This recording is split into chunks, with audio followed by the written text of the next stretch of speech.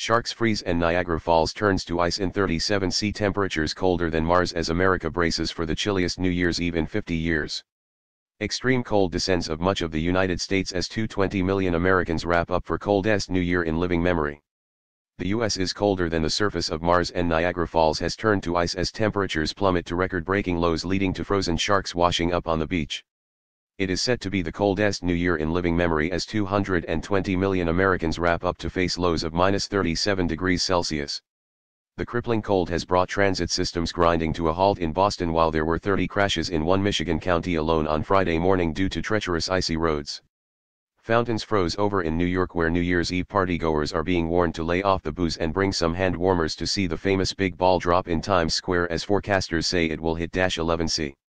The National Weather Service has warned of hypothermia and frostbite across the country.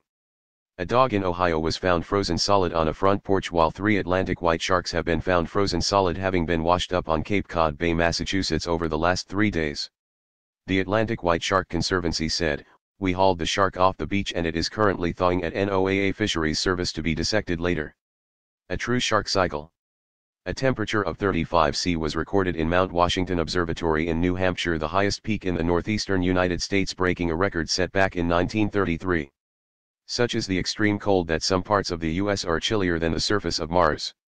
Data from the Curiosity rover, which is roaming the red planet, shows temperatures there reached a comparatively balmy 23 C on December 20.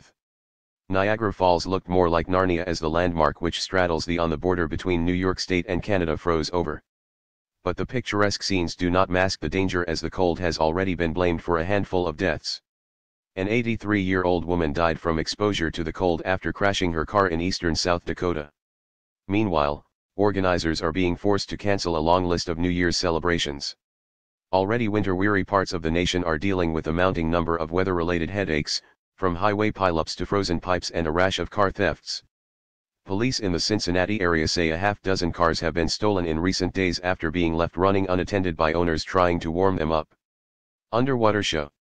Another foot or more snow is on the way in Erie, Pennsylvania, where residents still are trying to dig out from the more than 5 feet of snow that has fallen since Christmas Eve.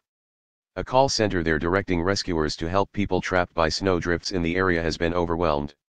Josh Yeager, a coordinator at the center, told the Erie Times News, the phones have been ringing off the hook.